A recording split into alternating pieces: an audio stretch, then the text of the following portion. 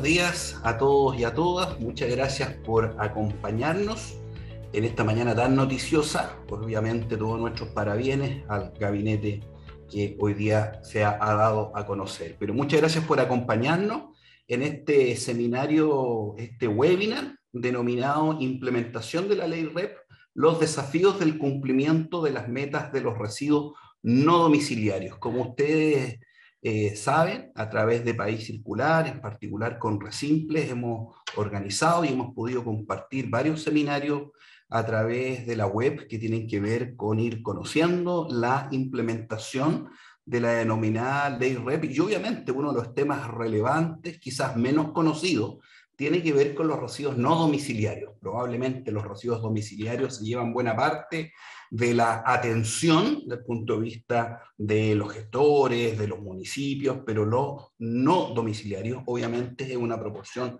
tremendamente eh, relevante de tener en cuenta en la gestión, obviamente aumentar eh, eh, la proporción de lo que se valoriza y eso es lo que vamos a compartir en este web, este seminario web en el día de hoy. Por supuesto, están todos invitados a poder realizar preguntas que las pueden compartir en la misma aplicación que lo posibilita este seminario web. Quiero eh, saludar y presentar a quienes nos van a acompañar. Vamos a contar con una presentación inicial de Isidro Pereda, que es el gerente de proyectos del Gran SIC Resimple, el primero que se encuentra en conformación y en el trámite legal y administrativo para su creación. También eh, agradecer la presencia de Franco de María, quien es presidente de la Mesa de Valor Compartido y Sostenibilidad de la Cámara Regional de Comercio de Valparaíso. Así que Franco, muchas gracias por acompañarnos, seas muy bienvenido. Y también de Iván Chauquelaf, abogado de la Universidad Católica, ex ministro, eh, perdón, ex subsecretario de Minería del presente gobierno y hoy día director de gremios sectoriales y desarrollo regional de la SOFOFA. Debo compartir con ustedes las excusas de Magdalena Balcells, que por problemas de salud no nos va a poder, no nos va a poder acompañar. Así que sin más, quiero dejar con ustedes a Isidro Pereda, gerente del proyecto eh, de Gran SIC en conformación Resimple, con su presentación inicial. Isidro, por favor. Muchas gracias, Pablo. Encantado de estar por acá. Gracias por estar con nosotros, Franco, Iván. Eh, un gusto de estar nuevamente con ustedes. Encantado de compartir lo que viene con la ley REP y ahora nos tocan los residuos no domiciliarios, aquellos residuos que uno no ve tan frecuentemente en su hogar, pero que evidentemente se generan y están regulados en nuestra legislación. Así que sin más, vamos de inmediato con nuestra presentación.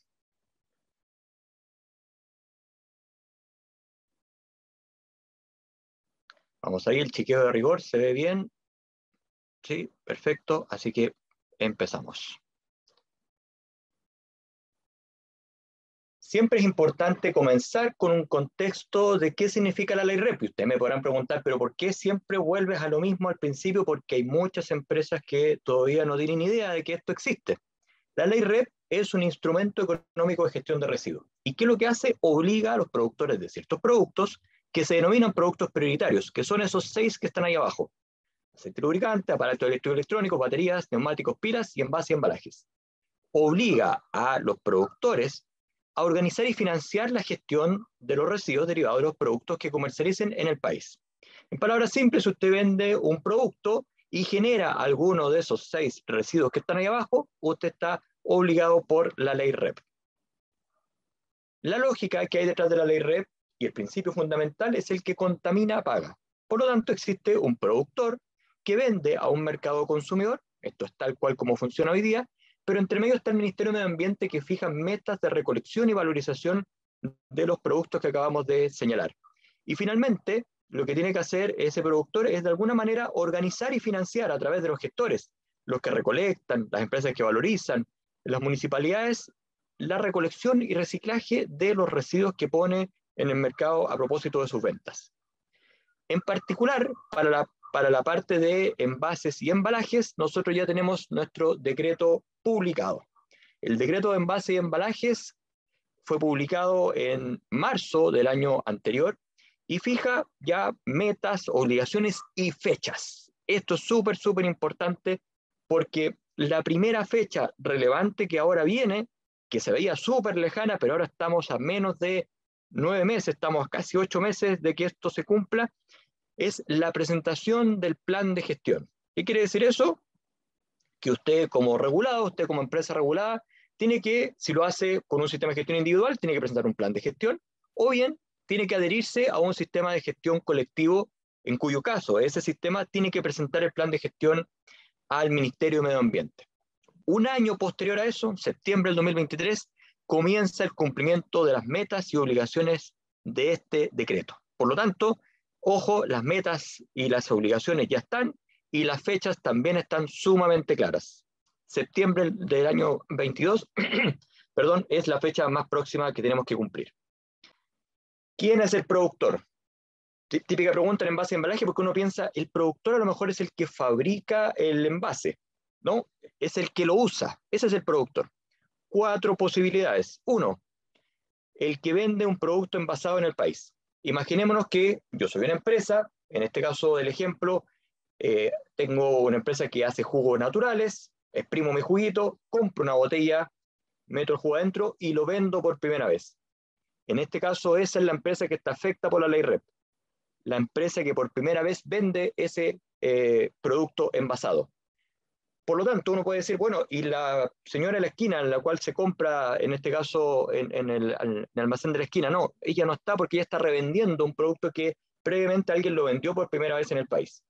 Por lo tanto, si usted es una empresa que envasa un producto y lo vende por primera vez en nuestro país, está afecto por la ley REP.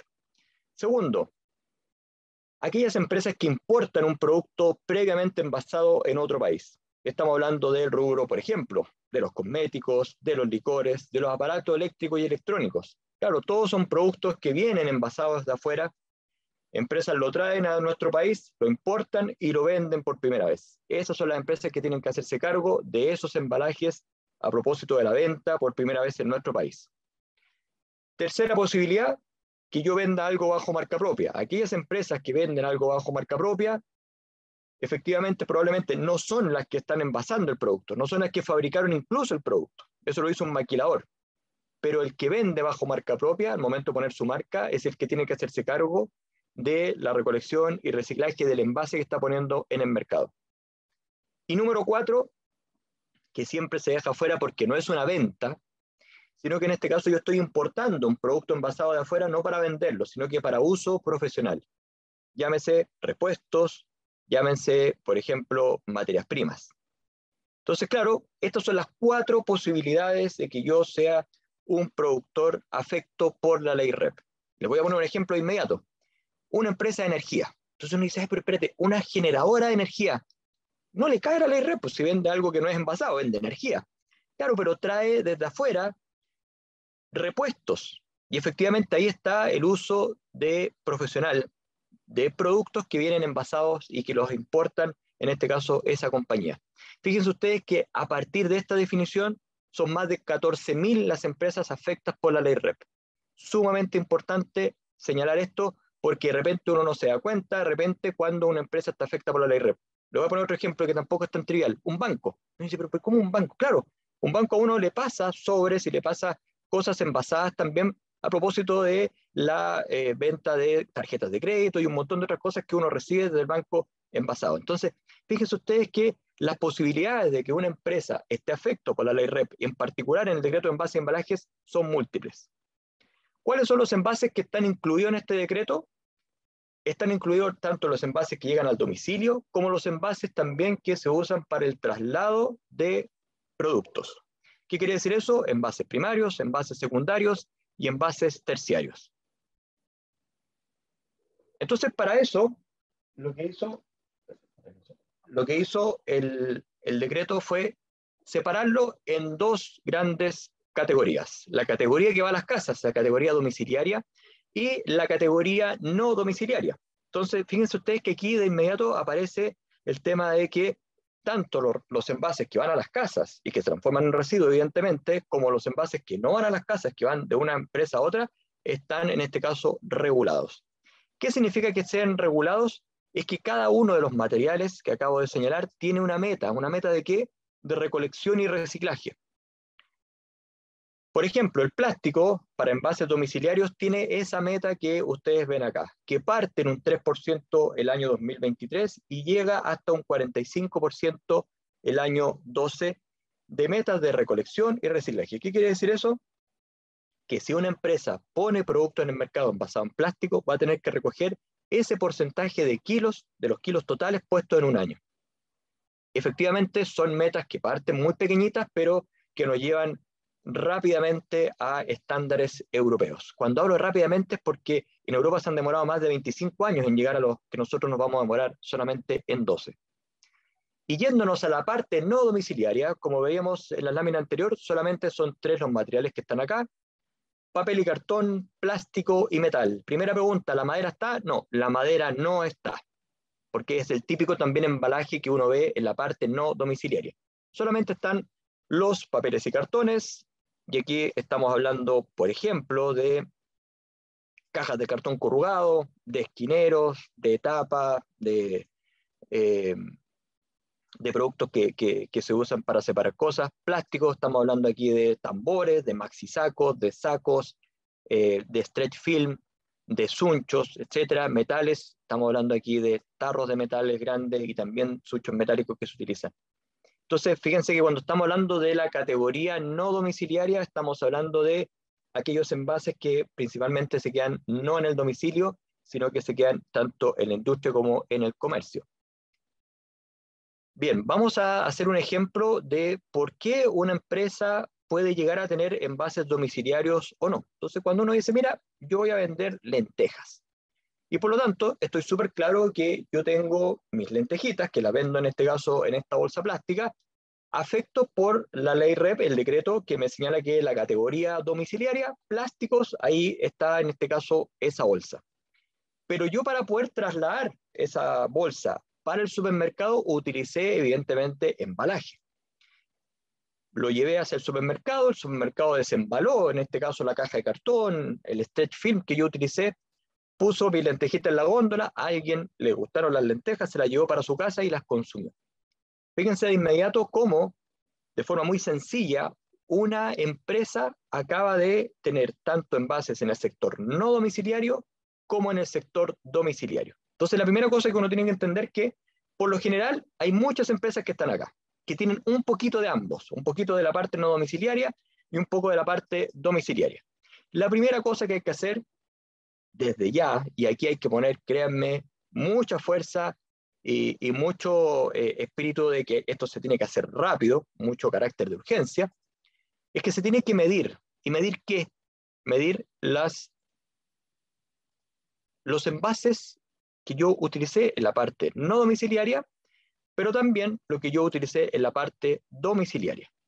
Entonces, claro, ¿por qué hay que separarlo? Porque la primera cosa que me dicen, oye, pero espérate, yo vengo hace rato reportando esto al Ministerio de Medio Ambiente, en la ventanilla única, y meto todo junto. ¿Por qué ahora me lo pide separado? Porque ahora estamos en modo red. Ahora es distinto esto. Ahora nos vamos a hacer cargo no tan solo de la data, vamos a ir a recoger esto y tenemos metas específicas, como veíamos antes, en la parte domiciliaria y en la parte no domiciliaria. Por lo tanto, claramente aquí tenemos que separarlo categoría domiciliaria, categoría no domiciliaria, y después hay que hacer la separación por subcategoría, e inclusive hay que llegar un poco más allá, que es eh, el detalle del tipo de plástico que se está utilizando. Nosotros hoy día estamos apoyando a muchas empresas, estamos apoyando a más de mil marcas que están en este modo red, porque las marcas me dicen, oye, espérate, ya, perfecto, yo tengo una empresa que tiene, no sé, 10 marcas distintas y necesito saber cómo te informo esto. Entonces, los invito desde ya a ponerse en contacto con nosotros en www.resimple.cl. Está en la forma de que ustedes nos puedan contactar para que les podamos ayudar de inmediato a esto, a visualizar cómo tienen que declarar, porque es, créanme, el primer paso en que una empresa dice, perfecto, yo tengo que hacerme cargo de la red, lo primero es medir. Pero también existen empresas solamente que están en el mercado no domiciliario. Claro, porque uno dice, ya, perfecto, por ejemplo, una empresa que vende arroz o que vende lentejas, tengo claro que está en ambas partes, domiciliario o no domiciliario, pero yo vendo solamente en el B2B, yo vendo de una empresa a otra. probablemente a mí no me toca la ley REP. La, la respuesta es que no, la respuesta es que sí, sí le toca. y aquí, por ejemplo, vamos a ver algunos ejemplillos. Por ejemplo, ¿qué pasa con los que venden repuestos, insumos y materias primas? Por ejemplo, vendo pulpa, eh, vendo un producto a granel que finalmente otra empresa lo toma, lo procesa y después lo vende al detalle.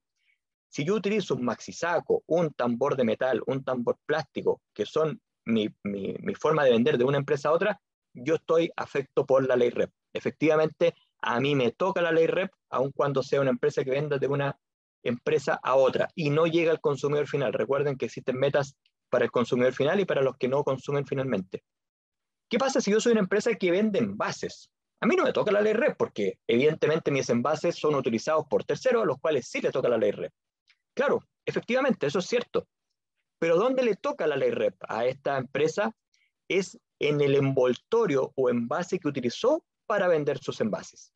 Si yo soy una empresa que vende, por ejemplo, envases de plástico, como se ve acá en la figura, yo me tengo que hacer cargo de la caja por la cual trasladé mis productos a mi cliente.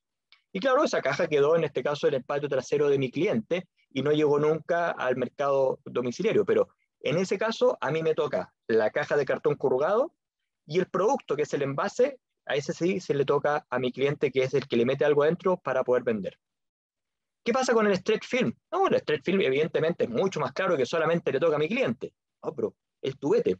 El tubete, el stretch film en este caso es la forma en que ese stretch film fue vendido al cliente. Por lo tanto, los que venden stretch film se tienen que hacer cargo en este caso de los tubetes y en caso que lo pongan dentro de una bolsa o dentro de una caja de cartón, también se tienen que hacer cargo de eso.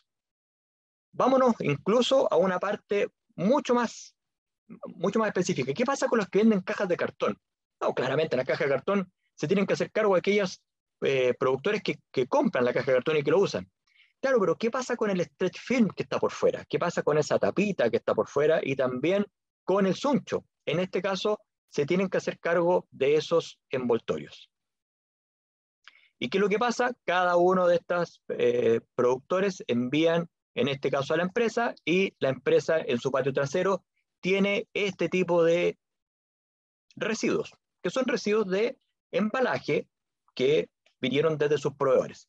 Entonces, la primera cosa que uno dice como empresa, ah, mira, yo tengo un montón de kilos que reciclo en mi empresa, obvio, tengo un montón de cajas de cartón, tengo incluso unos, unos pocos maxi sacos, tengo harto stretch film, y que alguien viene y me los compra y yo reciclo. Por lo tanto, como yo reciclo, yo puedo restar, en este caso, ese tipo de reciclaje a lo que yo pongo en el mercado. No, ahí no hay que confundir. ¿Por qué no hay que confundir? Porque esos envases, de cara a la ley REP, se tienen que hacer cargo sus proveedores. Efectivamente, uno se hace cargo porque están en sus patios traseros y uno lo recicla, pero de cara de la ley REP, de quién son esos envases son de sus proveedores, no son envases de ustedes, aun cuando ustedes en este caso estén haciendo su reciclaje. Vamos a entrar más en detalle al respecto en un ratito. Y por lo tanto, claro, lo que uno tiene que hacer como productor, como la parte de la izquierda, uno tiene que empezar a visualizar cuánto fue lo que utilizó en cartón, en tubete, en saco, metales, etc. Entonces recuerden las empresas que incluso venden de una empresa a otra, igual están afectadas por la ley REP en, la parte del decreto de categoría no domiciliaria. Perfecto, entonces ahora que ya empezamos a saber que hay un montón de empresas, 14.000 empresas afectadas por la ley REP, empresas que venden B2C, B2B, empresas que venden solamente eh, productos grandes o productos pequeños, van al consumo, etcétera, están afectos por la ley REP y de alguna manera tienen que organizar y financiar la gestión de sus residuos a través de los gestores.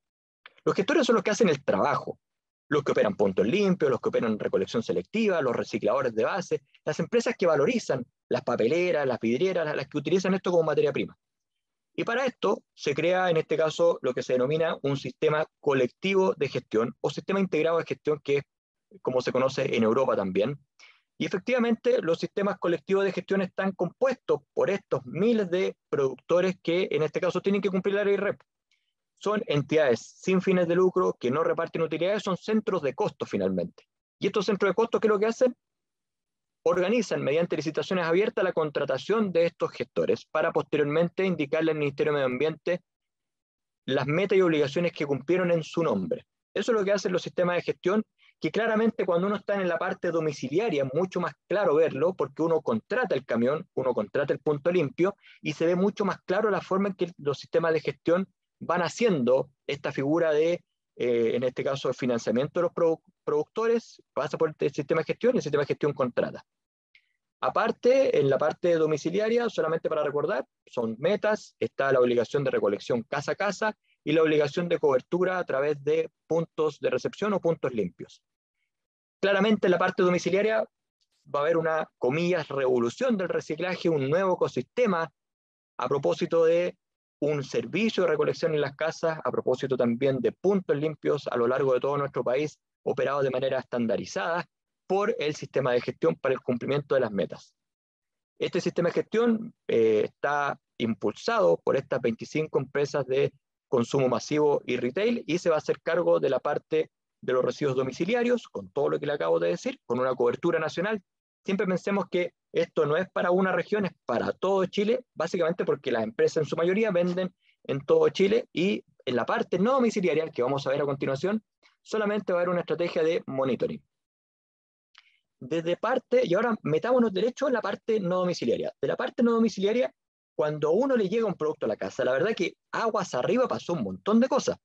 Hubo camiones que trasladaron desde la fábrica hasta un centro de distribución, del centro de distribución se, se, trasladó hasta una tienda o hasta un supermercado, y evidentemente cada uno de estas entidades tiene un patio trasero que se ve más o menos así cuando son grandes, es decir, grandes contenedores en donde se están colocando la chatarra, los papeles, los plásticos, etcétera o bien más pequeñitos, en maxisacos, eh, en contenedores mucho más pequeños, pero finalmente hay una generación de corte no domiciliaria, evidentemente.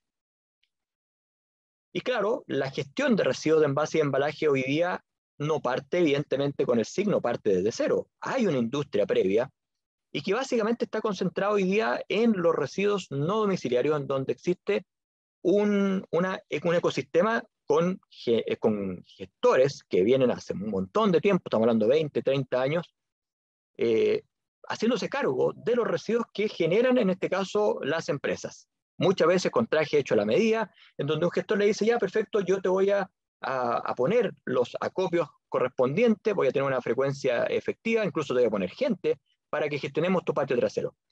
Ese sector en los patios traseros de mediano y gran tamaño efectivamente está muy tomado por gestores de distinto índole, como le acabo de señalar, que tienen un montón de tiempo.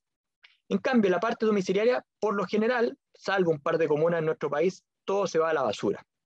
Por lo tanto, claro, cuando uno ve las tasas de reciclaje arriba están sobre el 50%, en cambio las tasas abajo están solamente alrededor del 10% o menos en términos de envase y embalaje. Y claro, ¿cómo va entonces el sistema de gestión? Va a incorporarse a este ecosistema porque arriba hay un ecosistema que existe y abajo hay un ecosistema que hay que crear. Por lo tanto, claramente va a ser distinta la forma en que nosotros nos vamos a eh, eh, incorporar a este ecosistema.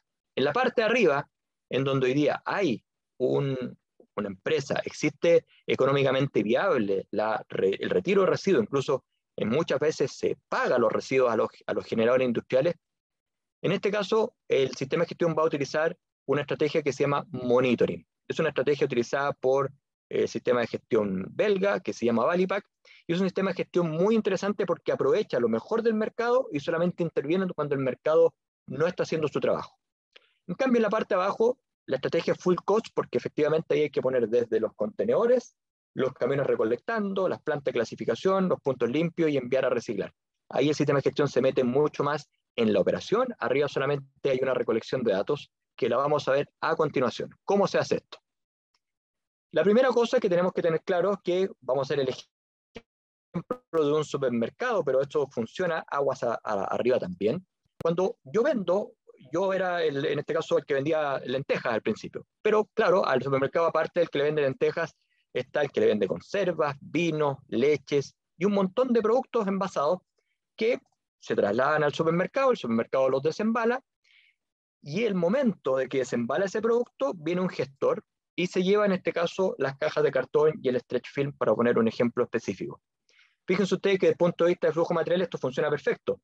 Hay un, un residuo, que es un residuo no domiciliario, que alguien lo gestiona y evidentemente termina siendo reciclado.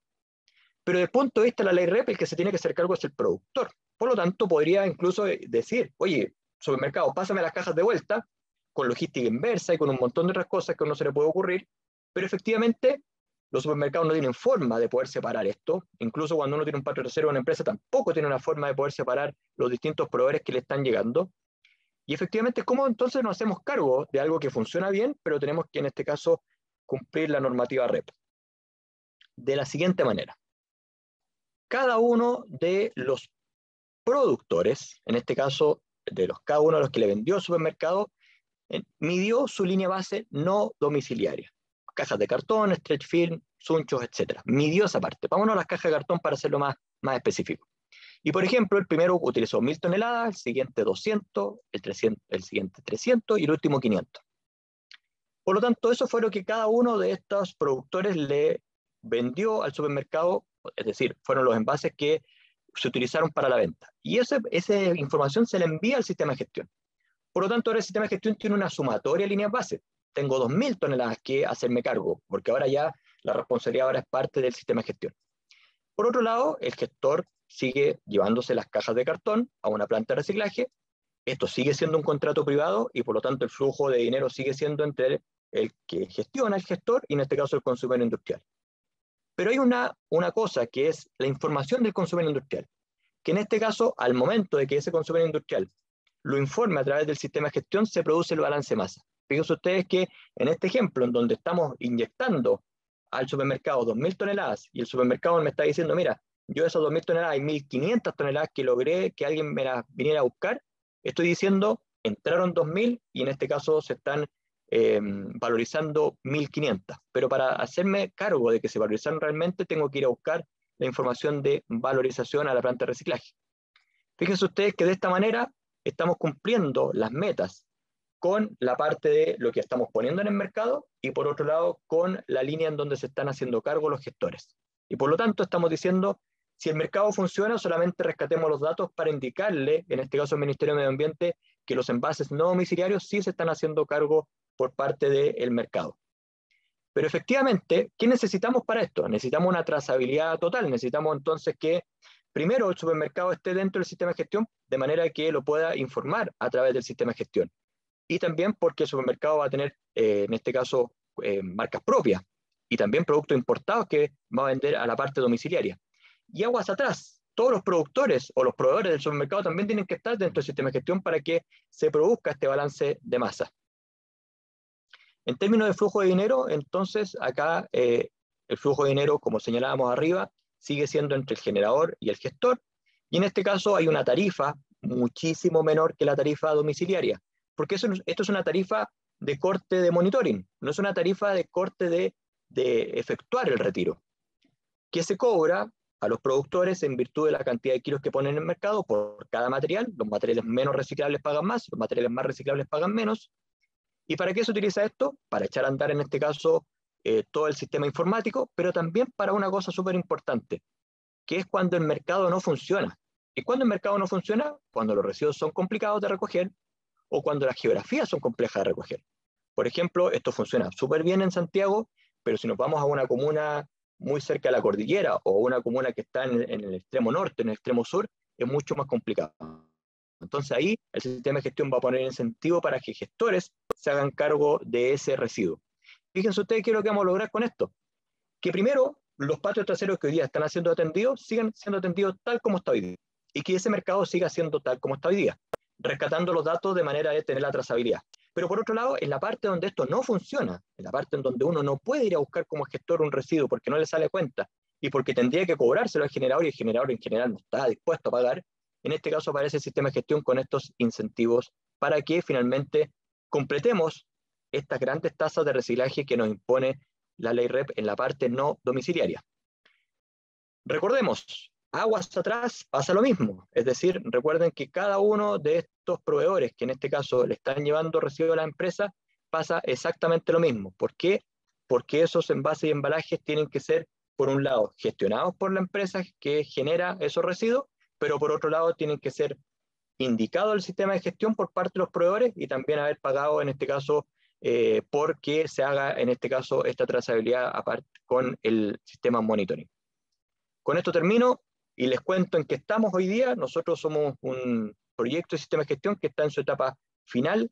Esto partió por allá por el 2018 con 10 empresas dentro del gremio de alimentos y bebidas que dijeron nos tenemos que hacer cargo de hacer un sistema de gestión y desde el 2019 en adelante hemos invitado a, a un montón de empresas de distintos rubros y, y así fue como ya estamos eh, con 25 empresas que están en este caso financiando este proyecto y como señalaba antes, con más de mil marcas estamos ya eh, en este caso prestando la asesoría.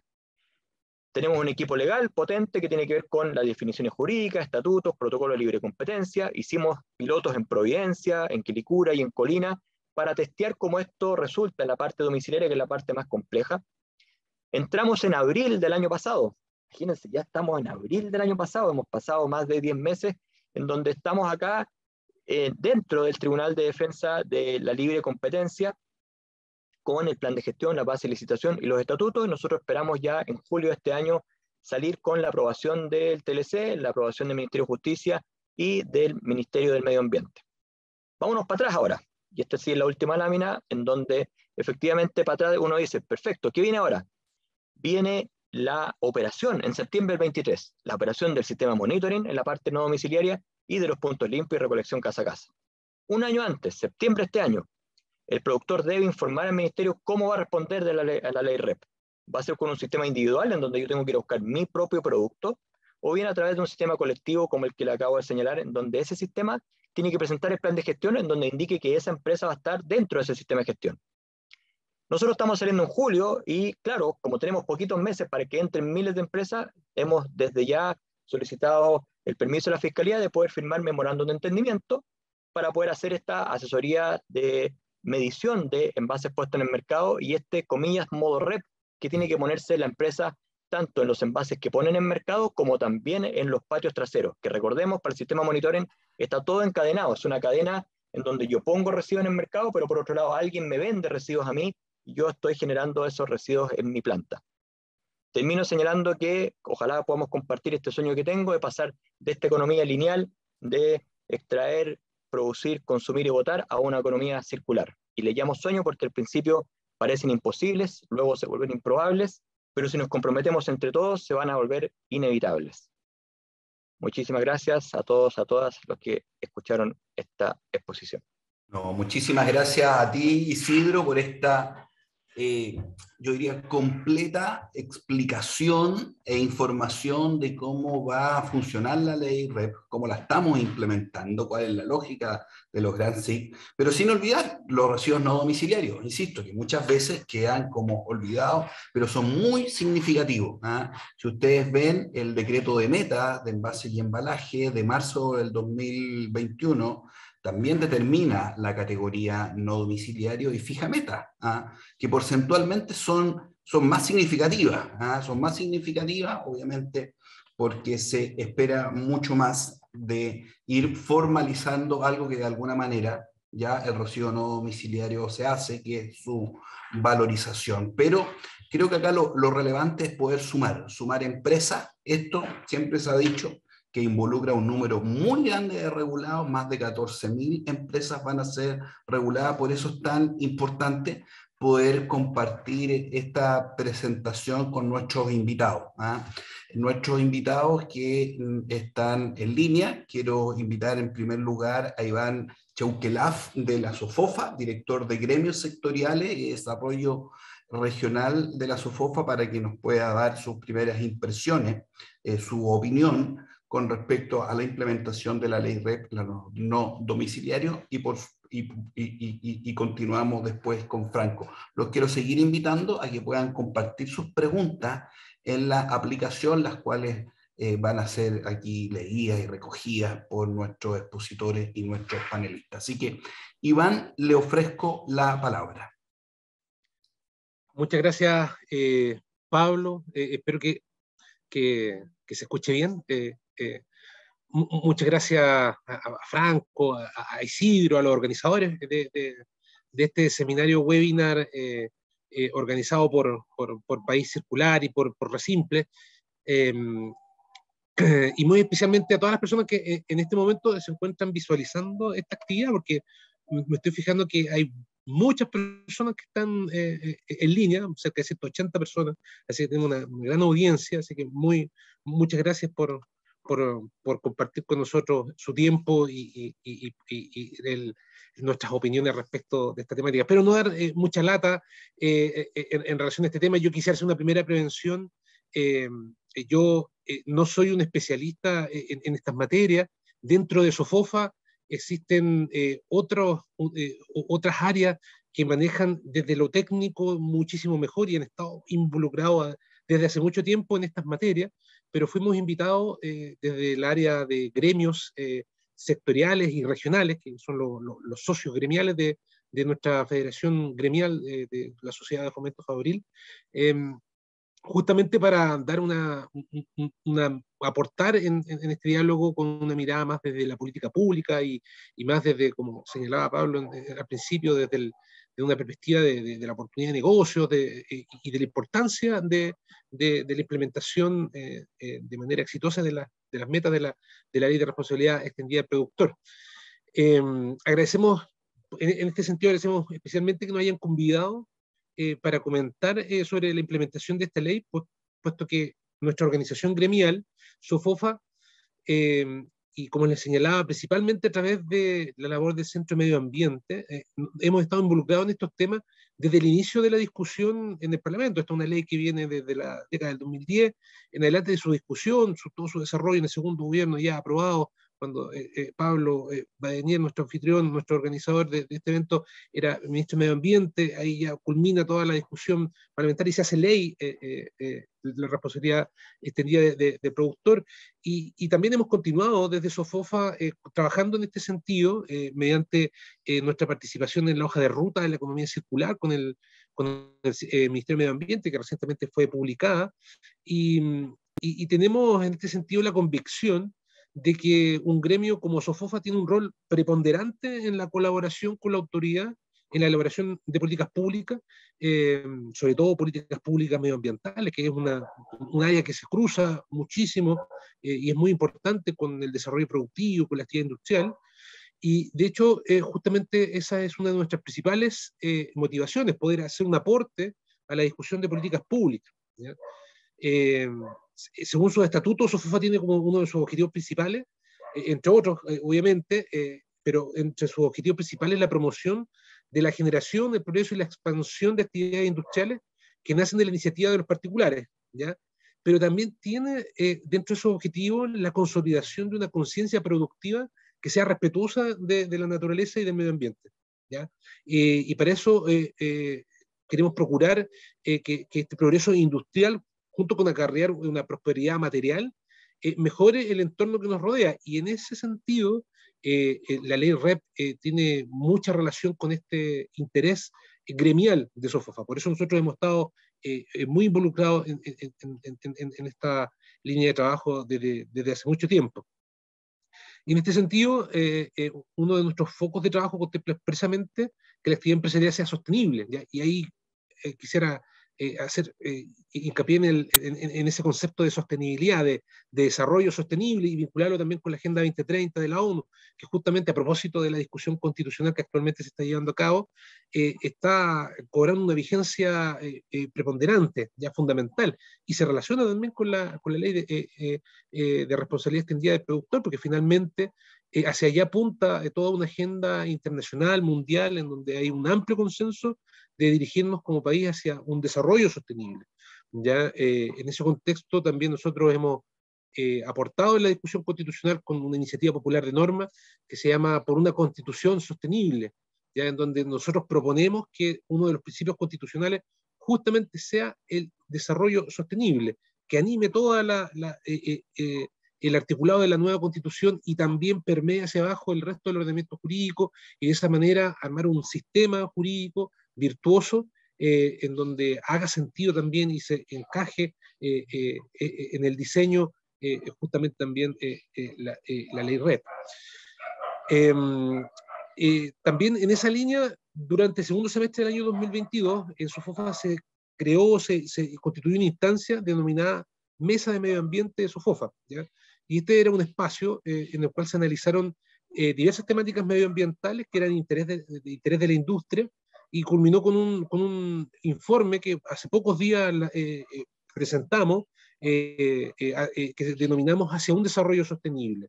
Y en ese informe contenía varias, más de 30 propuestas concretas, y una de ellas se abordó de manera especial, eh, una materia muy relacionada con lo que estamos hablando el día, pero no, no es la materia del, eh, que se está abordando específicamente, sino que era también eh, relacionada con la valorización de residuos masivos y economía de sus productos. Una cosa distinta, pero muy relacionada con la ley REP. ¿ya?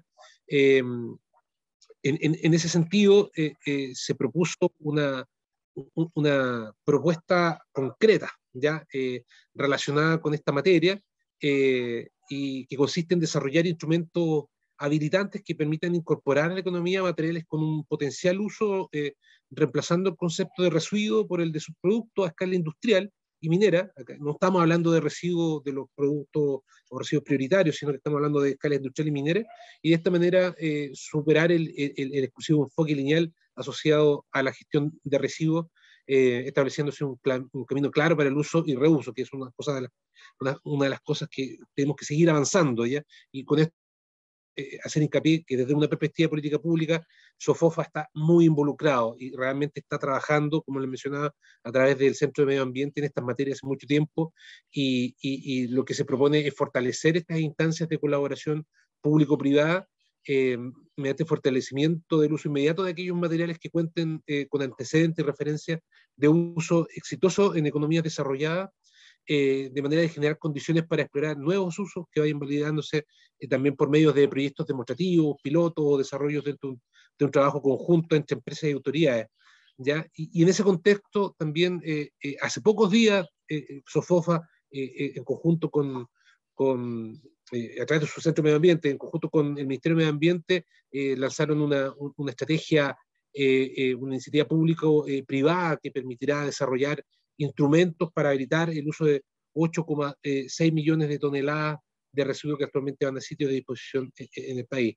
Es decir, hemos trabajado en propuestas, hemos estado vinculados a la discusión de, política pública, del desarrollo legislativo de todas estas materias, desde prácticamente su origen eh, eh, de la discusión parlamentaria.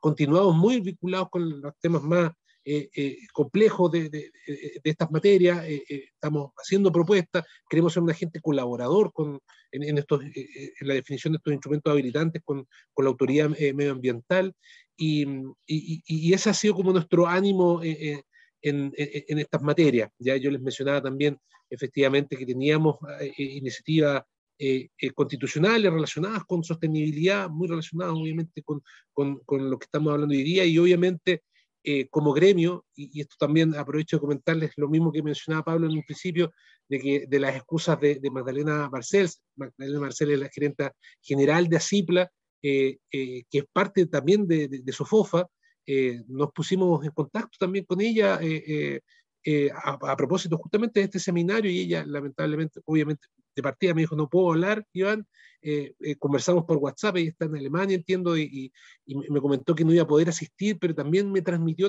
su visión respecto de cuál es el rol que como gremios tenemos en relación con, con, la implementación de la ley REP. Y, y efectivamente eh, eh, hay, un, hay, hay una, una, labor, eh, obviamente, de, de, interés público y hay también de responsabilidad por parte de los gremios de apoyar y colaborar en toda la difusión de la implementación de la ley, porque efectivamente, según lo que entiendo, es que ha costado un poco que las empresas, lo mencionaba Isidro recién en su presentación, de que eh, eh, se sientan quizás un poco tocados o convocados a, a, cumplir con la ley porque piensan que, eventualmente no, no, eh, no, no, son, no están llamados a, cumplir con, lo que está establecido en la ley, pero en realidad sí lo están. Entonces, hay un, una tarea en la, que, en la cual los gremios podemos apoyar muchísimo y ese ese también es uno de, de, los intereses que tenemos como Sofofa, de ser también un agente eh, articulador para efectivamente que las empresas y los gremios vayan conociendo eh, las implicancias de, la implementación de la ley REP en esta materia y en buenas cuentas vayan sabiendo cuáles son las obligaciones, los plazos que mencionaba Isidro, que ya están eh, eh, encima. Ya, yo lo que entiendo también que todo el tema relacionado con el sistema de gestión es uno de los temas que apremia es justamente es la difusión y, de que las empresas sepan de que tienen que dar cumplimiento e integrar también los sistemas de gestión. Ya hay todo un tema relacionado con las multas, obviamente no es lo que, lo, que principalmente mueve eh, a la gran mayoría de, la, de, las empresas que forman parte de, nuestros gremios, pero también hay un desconocimiento absoluto. Entonces, eh, eh, de, aquí en adelante, lo que nos queda como gremio, tanto a CIPLA como, como, a SOFOFA, es justamente colaborar en esa difusión y hacer una especie de campaña para, para poder dar a conocer estas implicancias y que en buenas cuentas las empresas sepan en qué consiste y sepan a lo que están obligadas. Así que eh, nuestro ánimo, eh, eh, Isidro, Pablo, es justamente ser un agente colaborador en, esa línea. Perfecto. Muchísimas gracias, muchísimas gracias, Iván. Ah, y efectivamente la SOFOFA también organizó un acuerdo de producción limpia de ecotiquetado que es súper, súper relevante, probablemente va a ser regulado y normado en su momento, pero hoy día es parte ¿ah? de, la ley, de la ley red, de los instrumentos complementarios del artículo 4. Pero quiero invitar a Franco de María, que fue presentado para nosotros muy relevante poder tener también la opinión de los regulados. Como lo decíamos, hay una cantidad muy importante de empresas a mí en particular, Franco, me da la impresión de que no, no, existe mucha conciencia, mucho conocimiento de esta regulación que ya se viene, que está vigente. Las metas se ven como lejanas, pero la verdad que no están tan lejanas. ¿ah? Así que, Franco, encantado de compartir con, contigo este webinar y te ofrezco la palabra. Estás muteado. Sí, eh, ahí estamos. Gracias, Pablo. Gracias, Ciro. Bueno, y agradeciendo también a toda la concurrencia y espero no extenderme mucho porque sé que estamos medio en el tiempo. Eh, bueno, yo estoy aquí invitado en mi rol de presidente de la Mesa de Valor Compartido y Sostenibilidad de la Cámara eh, Regional de Comercio del Paraíso. También tengo el otro sombrero porque también participo en una empresa familiar donde somos parte del SIG y nos toca también eh, saber de los avances de lo que está haciendo Isidro, pero en mi rol de presidente de, la mesa quiero un poco eh, contar en qué estamos nosotros y cómo podemos también colaborar, mucho ya lo, adelantó Iván, cómo podemos colaborar y, ayudar como gremio a que, esta ley se, se, pueda implementar de buena forma y ojalá llegue a la mayor cantidad de empresas que hoy día están siendo reguladas, digamos. Nosotros en la Cámara, eh, la verdad que nos, esforzamos cada día por estar un poco más conectados con nuestros socios y, trabajar en, en, una visión de una región sostenible y por eso creemos que, que, como gremio podemos jugar un rol fundamental eh, a través de facilitar y ayudar a la implementación de la ley REP. No solo difundiendo en qué consiste, sino que creo que lo más importante es eh, motivar a nuestros asociados a hacerse parte de esta nueva forma de ser empresa, eh, orientando su esfuerzo a, a, las nuevas tendencias, que en el fondo es cómo hacemos empresa mirando la sostenibilidad como un eje central de nuestro negocio. Eh, en, la mesa hoy día participan distintos actores de la región y es una instancia trabajo muy, muy interesante para poder en el fondo eh, fijarnos metas y también iniciativas que tengan esta mirada del tipo impacto. Yo creo que más allá de la ley REP, lo importante hoy día es tener esta visión de tipo impacto donde no solamente tengamos mira en, en mente algo que es legítimo, que es el desempeño económico, sino también cómo tenemos un impacto medioambiental y social en las iniciativas que generamos como, como, como, empresa y es eso lo que nos mueve la mesa de valor compartido y sostenibilidad. Eh, la, la, mesa, que surge hace varios años con un convencimiento eh, en que la legitimidad social de las empresas ya no está dada solamente por su capacidad de generar riqueza, sino que también por su capacidad de contribuir positivamente en la sociedad.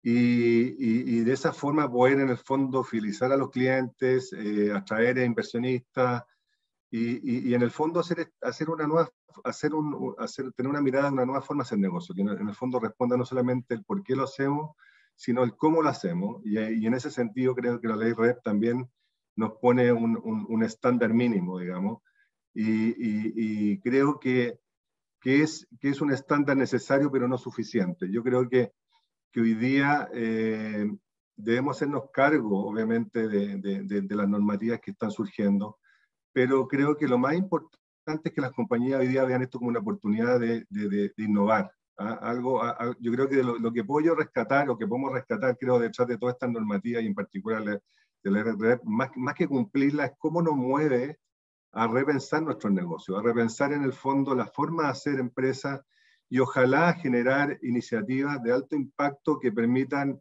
tener esta visión de, economía circular. Yo creo que e, eso es lo que hoy día estamos nosotros tratando de promover y creo que hay bastantes casos también de éxito que están empezando a no solo a verse regionalmente, a nivel país, digamos, de cómo hoy día podemos en el fondo eh, ir más allá de la ley. Yo creo que el desafío es, es, no quedarnos con cumplir la ley, es ir más allá y ser proactivos.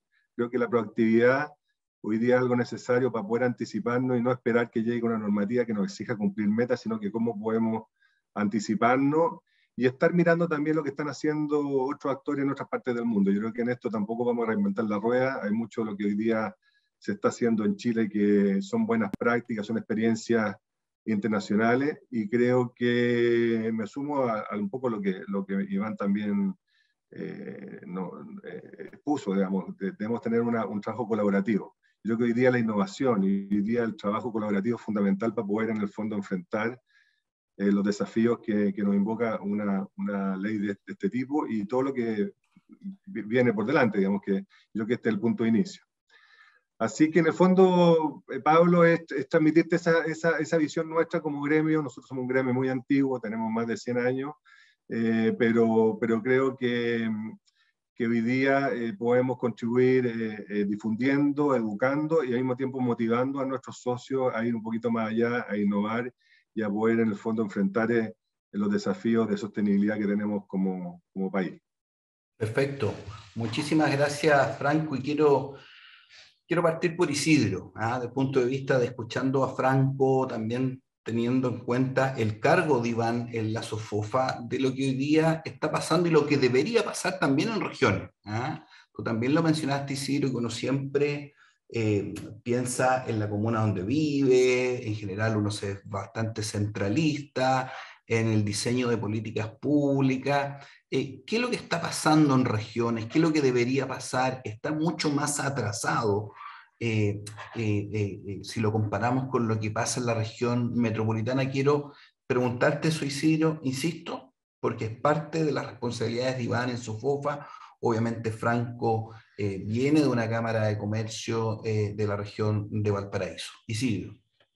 Sí, en efecto, lo que nosotros hemos podido empezar a vislumbrar es que las empresas que están en regiones que, no son estas grandes compañías que efectivamente tienen plantas, por ejemplo, en algunas regiones, pero, pero tienen su, su casa matriz acá en Santiago, no están claras de que la ley REP existe. Entonces estamos hablando que ni siquiera esta cuestión es tema. Ese es el problema. Estamos partiendo, digamos, de una cosa que, que tenemos que empezar desde cero. Después, cuando uno empieza a hablar al respecto de esto, empiezan a decir, ah, pero ¿y ahora cómo la cumplo? Entonces, ahí es donde tenemos una brecha súper importante en poder llegar de mejor manera a distintos gremios regionales y gremios de repente súper específicos. Por ejemplo, te cuento un, un, tema que me, me, pasó con dos gremios específicos, con el gremio de los harineros, que muchos harineros incluso de la parte sur, y efectivamente en el gremio harinero hay empresas muy grandes y empresas muy pequeñitas. Y a propósito del trabajo gremial, fue que las empresas pequeñitas supieron que esto existía y que hoy día evidentemente están siendo acompañadas por nosotros para ponerse en este modo REP. Pero es crucial, crucial, crucial todo lo que tiene que ver con, con el índole gremial, porque es la única forma de juntar a muchas empresas de distinto tamaño en una sala que hoy día no, nos acompaña la, la, tecnología virtual para que podamos tener de repente 100, 150 invitados mostrándole este tema, que independiente que tu empresa esté en Punta Arenas, en Arica, que tú envases en, en, en La Serena, esto te toca y de alguna manera te tienes que hacer cargo. Y la forma de hacerte cargo, en este caso, sobre todo si uno vende a consumidor masivo, es a través del sistema de gestión colectivo. Eh, nosotros estamos haciéndonos cargo mucho de eso, o sea, no, no tan solo lo que viene posterior. Nosotros tenemos una gran tarea cuando ya tengamos la personalidad jurídica lista, cuando salgamos al tribunal y tengamos todo esto andando. Pero nuestra responsabilidad desde ya es cómo nosotros nos hacemos cargo de que muchas empresas hoy día ni siquiera tienen idea de que esto viene y que vienen multas. Evidentemente las empresas no se movilizan solamente por multas, pero lo que no queremos que pase es que sean multadas a propósito de que no sepan que esto viene. Y por eso es que nosotros estamos hoy día haciendo un montón de webinars, estamos haciendo trabajos con cámaras gremiales. Eh, me da mucho gusto que, Franco esté aquí, pues, porque es un, en este caso una cámara regional y evidentemente que esté Iván es espectacular porque por la amplitud de Sofofa esto nos permite también llegar a una cantidad de rubros tremendos. Aquí, cuando uno dice cuál es el rubro que está impactado, prácticamente todos los rubros están impactados porque prácticamente todos los rubros o importan algún repuesto envasado o venden algo envasado acá en el sector, eh, en nuestro país. Así que encuentro que es tremendo, tremendo eh, todo lo que uno se puede hacer con gremio y se pueden hacer grandes cosas, sobre todo pensando en empresa mediana y pequeña. Perfecto, muchas gracias Isidro. Yo quiero compartir con Franco una pregunta de Pablo Rodríguez Méndez, que se encuentra ahí en la aplicación de preguntas y, y respuestas. Mucho hablamos, es parte del título de nuestra invitación, sobre las metas. ¿ah? Pero aquí Pablo Rodríguez nos recuerda que la ley REP en el mediano plazo incentivará la implementación de estrategias de prevención, ¿ah? el fondo de disminuir la cantidad, en este caso, de envases y embalaje que se pone en el mercado. Franco, ¿Cuál es la oportunidad, en el fondo, para los regulados de también poder disminuir esa cantidad de envases y embalajes que se ponen en el mercado? O bien modificar y variar el tipo de envase y embalaje que se pone en el mercado. ¿Cómo lo ven ustedes como regulado, como Cámara de Comercio de Valparaíso? Mira, bueno, eh, yo, ojalá pudiéramos, por eso que yo hablaba de la oportunidad y de la innovación, ojalá pudiéramos más que preocuparnos de declarar las metas, cumplirlas o valorizarlas, es de, de, repensar nuestros modelos de negocio. O sea, hay, hay, yo no quiero, quiero, quiero hablar de una experiencia particular y perdonen que, me, que sea autorreferente, pero nosotros, nosotros, bueno, participamos de un negocio familiar que estamos en el mundo del negocio de limpieza. Y hace un tiempo atrás eh, impulsamos un spin-off, un, un, negocio nuevo que se llama Mercado, Mercado Circular y del cual nace Ecocarga, que en el fondo son es un negocio de recarga de productos de limpieza. En el fondo dijimos, bueno, ¿cómo no hacemos cargo del tema de los envases, no generando más envases, sino reutilizando los envases?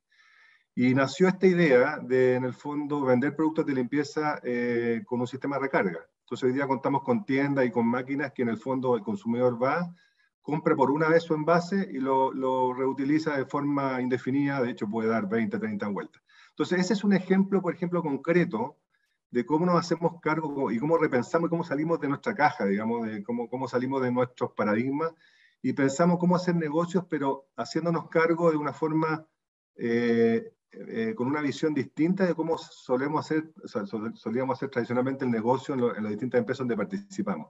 Entonces, oportunidades como, oportunidades como esa y negocios como ese hay mucho, hay mucho emprendimiento hoy que nacen pensando, siendo pensados bajo una mirada sostenible, bajo una mirada de, de, de, no tener que ni siquiera pensar en la IRP, es como en el fondo podemos eh, evitar generar residuos. Entonces, yo creo que, que, la invitación un poco es esa, o sea, cómo hoy día nos desafiamos como, como empresarios, emprendedores y como, bueno, en el caso también nuestro como, como Cámara podemos promover ese tipo de, de iniciativa y en el fondo creo que hoy día la gente joven, los emprendedores nuevos, nuevos vienen mucho más también seteados en ese idea.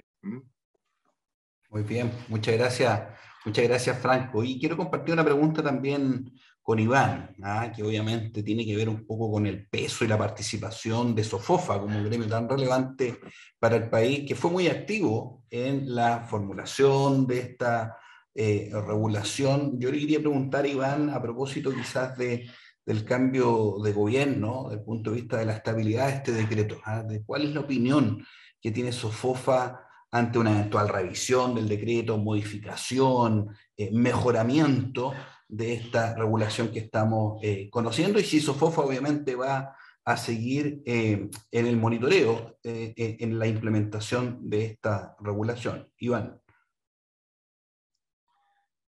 Pablo, sí, efectivamente, una de las labores que tiene Sofofa es el constante monitoreo de las políticas públicas y todas las, y está presente en la gran mayoría de las discusiones que se, que se caracterizan por su transversalidad, es decir, que puedan afectar a la gran cantidad o a la mayor cantidad de sectores que conforman nuestra eh, eh red gremial.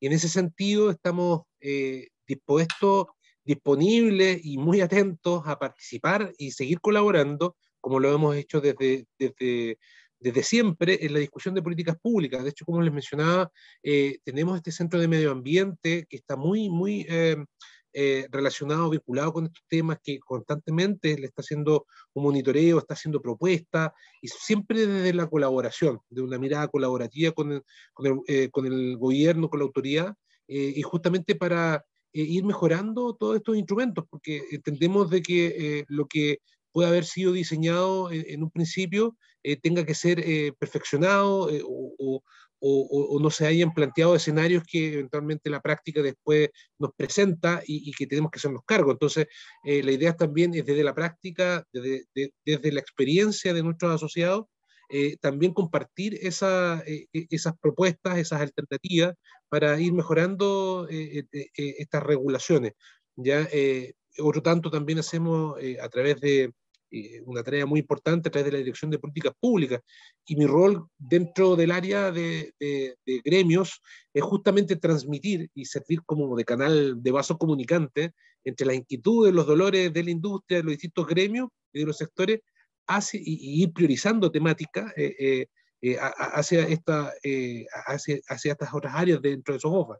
Entonces, claro, ahí también me hace mucho sentido estar participando en instancias como esta, porque ahí uno va tomando la temperatura y diciendo, oye, bueno, aquí tenemos un tema del cual tenemos que hacernos cargo y hacernos cargos pronto. Ya no, no, no, no, no podemos hacer lo que hacemos comúnmente en Chile, de entender de que todos los plazos son de un solo día, que generalmente es el último, ya porque aquí no va a funcionar, aquí tenemos que que tener un rol como un poco más preventivo eh, y, temporalmente más oportuno. Así que, eh, eh, de hecho, después de, esta actividad, una de las primeras cosas que voy a, hacer es ir relevando este tema dentro de las distintas áreas de Sofofa para activarnos y poder llegar de manera oportuna a, la implementación de todas estas discusiones. Muchísimas gracias, Iván. Lo que sí, de manera inevitable avanza es el tiempo. ¿ah?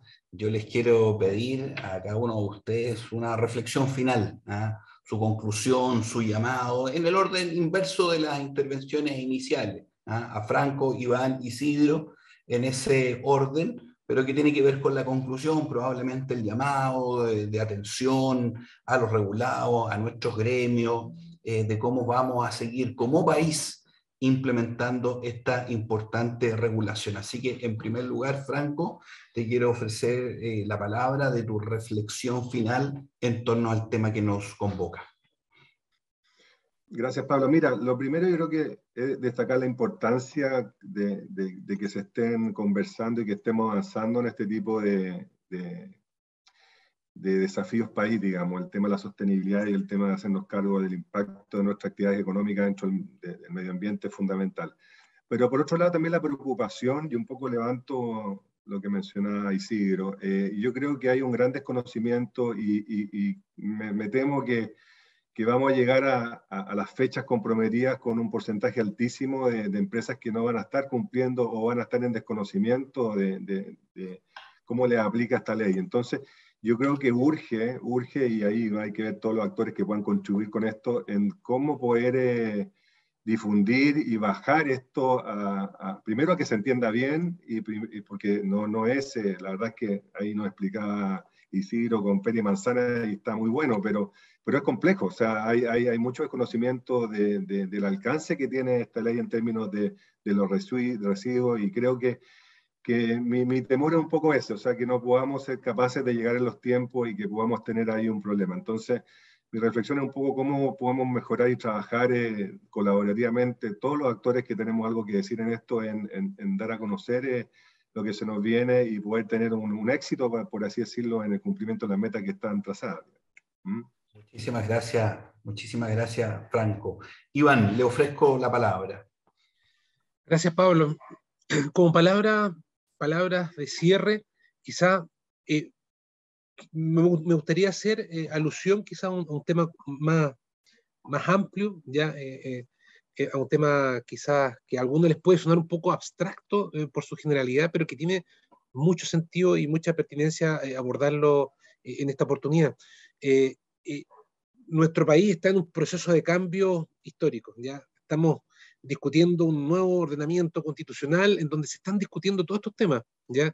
Y, y, y hace muy poco tiempo la ONU acordó en el año 2015 una agenda, ya una agenda la Agenda 2030, ya en donde está contenido los, los ODS, los Objetivos de Desarrollo Sostenible. Entonces estamos frente a una tremenda oportunidad como para que en este proceso constitucional es, e, e, e, esa, esa, agenda, eh, esa hoja de ruta eh, o ese marco eh, establecido también en nuestro, en nuestro ordenamiento. Y, ¿Y por qué lo digo? Porque finalmente lo que establece el desarrollo sostenible es este equilibrio entre las tres dimensiones de la sostenibilidad, la, pilar social, el pilar económico y el pilar medioambiental. ¿ya? Y, y, el principal objetivo de esa agenda es superar la pobreza de aquí al 2030.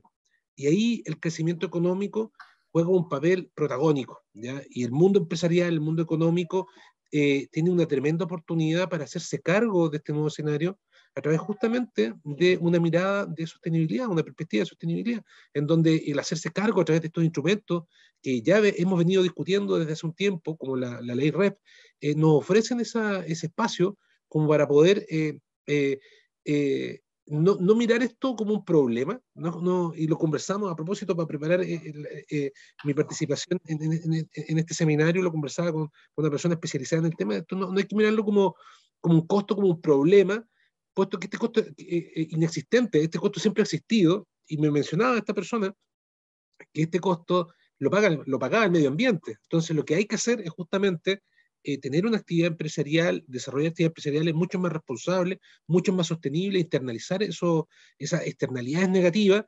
y, de esa manera alcanzar el desarrollo sostenible de manera responsable y, con, y muy a tono con todas las necesidades e intereses que actualmente la ciudadanía ha manifestado de manera expresa en, los últimos procesos. Yo creo que eh, la ciudadanía en su totalidad, todos hemos dicho, eh, tenemos que cambiar la forma de cómo estamos haciendo las cosas y esta es una herramienta que tenemos y una tremenda oportunidad para el sector productivo, el sector industrial, las empresas, para hacerse cargo de muy buena forma de, de esas necesidades. Así es, muchas gracias Iván. Efectivamente una regulación de, con buena aceptabilidad, diría yo. ¿ah? Eh, Isidro, tus palabras finales en torno a la implementación de la ley REP con el foco en los residuos no domiciliarios, por favor. Muchas gracias Pablo, gracias Franco, gracias Iván por estar por acá y gracias también a todas y a todos los que nos están escuchando, a los que se dieron el tiempo a escuchar esta exponencia y eh, estas reflexiones que hemos dado en esta mañana. Em, primera reflexión, tal como decía Franco, el mejor residuo es el que no se genera. Y déjenme agregar un poquito, el peor es el que no se recicla. Entonces, efectivamente, cuando uno tiene esa gama de que tú no, no, no, generas un residuo, estás en la mejor parte, cuando tú estás con un residuo que no es reciclable, estás en la peor. Yo creo que eso ya nos, nos da un poco de lo que se trata el espíritu de la ley REP. Y si usted está, eh, en este caso, con una empresa, usted es un eh, eh, ejecutivo, un propietario de una empresa que está afecto por la ley REP, tanto en envase domiciliario o en envase no domiciliario, acércase a nosotros y se la vamos a explicar de manera re simple, como la explicamos acá, y también lo vamos a ayudar de manera re simple a poder cumplir las metas y obligaciones. Así que, por favor, eh, lo dejo invitado a nuestra página web, www.resimple.cl, en donde aparecen todos nuestros contactos y también aparece mucha información relevante de las empresas que están en modo rep hoy día y de todo lo que tiene que ver con esta normativa medioambiental. Muchas gracias. No, muchas gracias a ti, Isidro, y poder reiterar los agradecimientos Franco, Iván, por acompañarnos de parte de País Circular y de Resimple. Muchas gracias por la audiencia, una audiencia eh, muy interesante, muy grande en una mañana eh, tan noticiosa. Están todos cordialmente invitados. Eh, la grabación de este seminario queda disponible en las redes sociales y también de poder seguir informando en www.paiscircular.cl, donde saldrá un reportaje sobre lo comentado en este seminario web. Así que a todos y a todas muy buenos días.